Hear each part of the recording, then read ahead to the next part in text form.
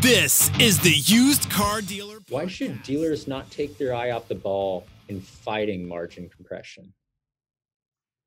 That's that's that that's the uh, question that we would really recommend every dealer to consider. Don't take your eye off the ball. Why? Because this isn't this isn't a permanent change to a 40 year trend.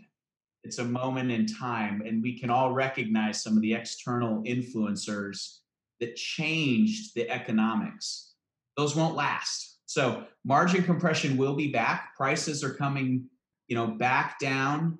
Um, while vehicle prices are up, wholesale prices were up too. The cost of acquiring the vehicles went up. So margins didn't grow as much as prices did.